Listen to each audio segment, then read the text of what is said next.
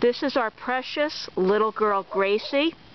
She had so much fur on her, she was actually a tan color, and now that she's gotten a haircut, she is a white poodle girl. She's very, very loving. She could go to any type of household. And she has the sweetest little face. Gets along with all the other dogs.